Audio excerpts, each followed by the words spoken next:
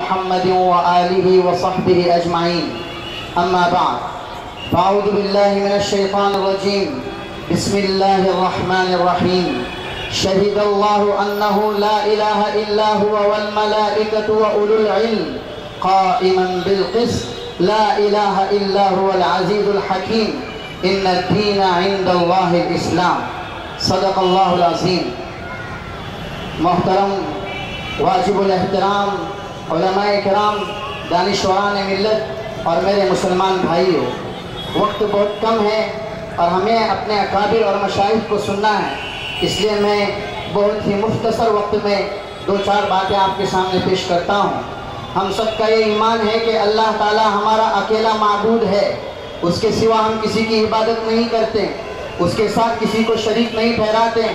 ہمارا یہ ایمان ہے کہ اللہ ہم سب کا اکیلا مالک ہے۔ وہی ہمارا اکیلا پالنہار ہے، سوائے اس کے اور کوئی ہمیں پال نہیں سکتا۔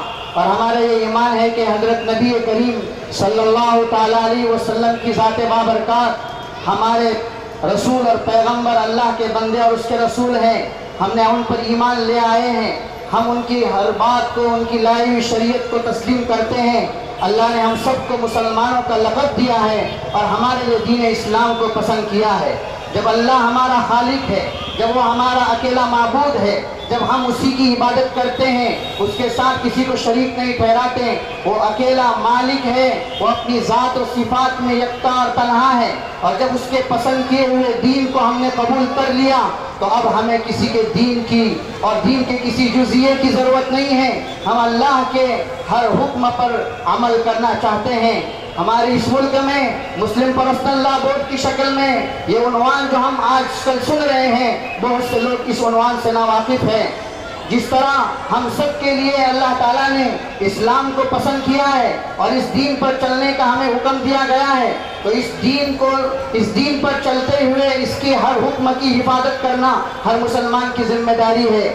یہ ہم سب کا ایمان ہے کہ ہمیں اللہ تبارک و تعالیٰ کا دیا ہوا دین اللہ تعالیٰ کی طرف سے ملی ہوئی نعمت یہ ہمیں ہمیشہ ہمیشہ کی کامیابی دلائے گی۔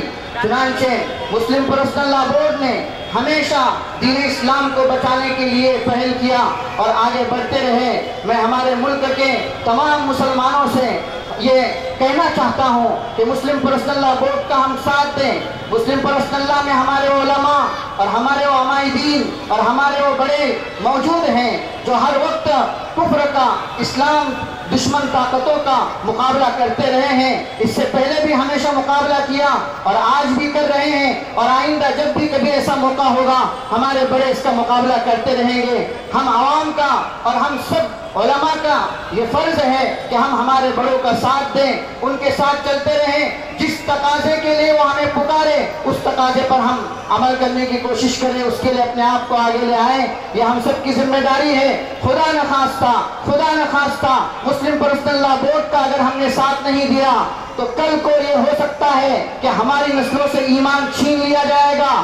ہماری نسلوں سے اللہ کی عبادت ختم کر دی جائے گی۔ اسی دھرتی پر رہتے ہوئے سورج کی پوجا کروائی جائے گی۔ اسی دھرتی پر رہتے ہوئے زمین کی پوجا کروائی جائے گی۔ اسی دھرتی پر رہتے ہوئے معبودان باطل کی پوجا کروائی جائے گی۔ جس پوجا اور پوجا اور بت پرستی کو ختم کرنے کے لیے نبی کریم صلی اللہ تعالیٰ علیہ وسلم کو بھیجا گیا ہے، اسی بت پرستی کو ہمارے اولادوں میں نافذ کروایا جا سکتا ہے۔ ہمیں ساتھ دینے کی ضرورت ہے، ہمیں اپنے بڑوں کے پیچھے پیچھے چلنے کی ضرورت ہے۔ کیا ہم اس بات کو پسند کرتے ہیں کہ ہماری اولادوں میں اسلام باقی نہ رہے؟